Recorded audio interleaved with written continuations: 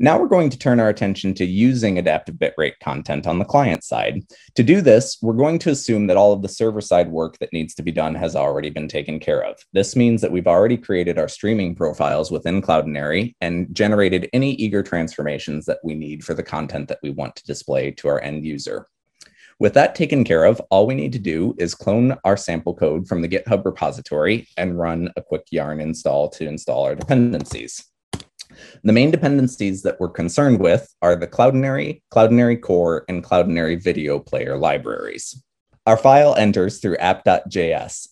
This component's main purpose is to instantiate our video player and pass through the necessary parameters to fully connect to our Cloudinary account. To do this, you'll see a params object defined at the top of the file that declares our cloud name, as well as the public ID of the video that we're going to display to our end user. Both of these values gets passed through our params object for the video player itself. Inside of that video player component, you'll see that we're importing several libraries to help us render this particular component. First, we're bringing in UseEffect from React.js, as well as the main Cloudinary module from Cloudinary Core. There are also two files that we need to include to ensure that our video player instantiates correctly in the browser, a videoplayer.js file and a videoplayer.css file. Turning our attention to the component itself, you'll see that we immediately make use of the props that we passed from app.js to instantiate a new Cloudinary object. Afterwards, we can look at what the component renders as its output. We're returning a single video HTML element with the ID CLD video player. We're assigning this ID so that when our JavaScript runs, we can find this element and fully instantiate the entire Cloudinary video player.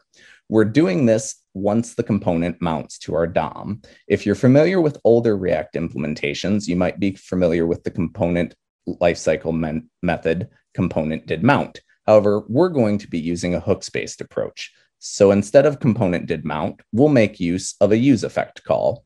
Our use effect will run one time when the component is first mounted to the DOM, and that use effect method will create an options object that declares what source types we're expecting to receive, as well as the basic controls that our player will use to instantiate. Finally, we locate the CLD video player element that we created in the DOM earlier, pass in our options object, and instantiate the player. Once that's done, we're ready to run our code. All we need to do to get things running is run yarn start. This will start a local development server on our machine. And once our local development server is running, you'll see our adaptive bitrate content is available for playing.